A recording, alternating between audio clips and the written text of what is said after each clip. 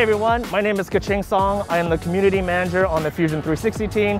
You can see behind me, we're at BattleBots 2021 World Championships. There's about 65 teams here in Las Vegas competing for that number one title.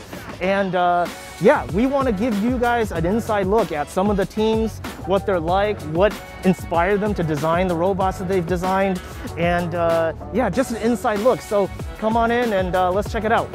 Problems we're trying to solve. So. Oh, I think we just. We just walk. Okay. Uh, should we should we try Is that that okay? Yeah, because do you also have the impact in the background? Yeah. Maybe we try that question one more time. Yeah. Okay. All right, cool. Hey, I am here with Lisa Winter. Uh, this is really cool to be able to talk to you. You're one of the judges for BattleBots 2021.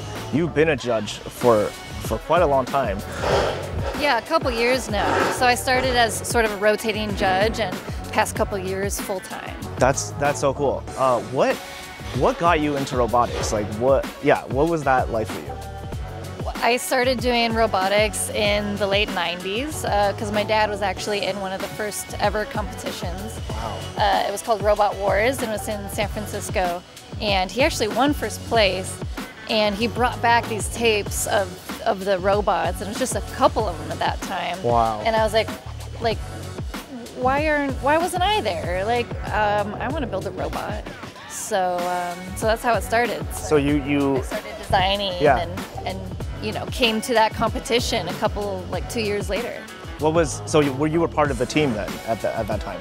Um, it was sort of like a family unit. Um, so my dad had a robot, I had a robot, uh, and he you know he taught me how to use all the tools and everything like that. That's so cool. What what do you love about robotics? I love the creativity and um, like with this kind of sport, I, I really do like the fighting and the controlling of the robot. That's the most fun. Um, but you know, I like artistic robots and just sort of drawing up fun, unique weapons and designs that are that are going to look cool and be fun to control. That's so cool. Uh, you so you're one of the three judges.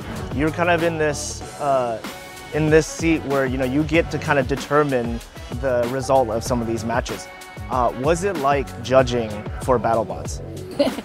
It's extremely stressful because um, I understand what the builders are going through. I know that it sort of feels like life and death when when you're waiting for that decision. Yeah. Um, so I mean, I just try and be as as on point to the judging rule book as possible. And this year we have a matrix um, to make our scores more even across the board, and I think it's really helping. When you're not involved with BattleBots, um, what what do you do as as like a day job?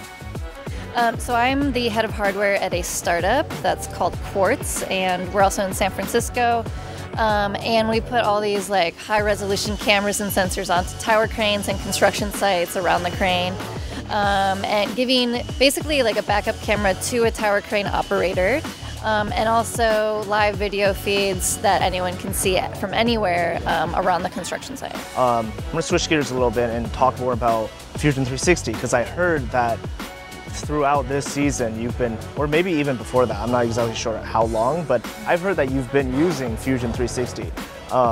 Yeah, what's that like for you? Uh, it, are you using it for fun or are you actually using it for like design work?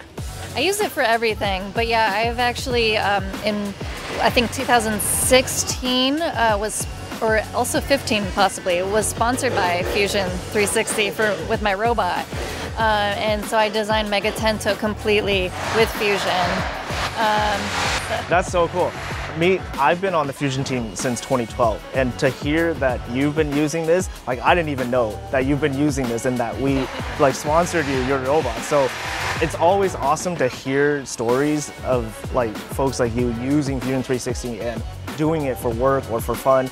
Uh, yeah, that's really cool. So now I'm like a big fan of you too.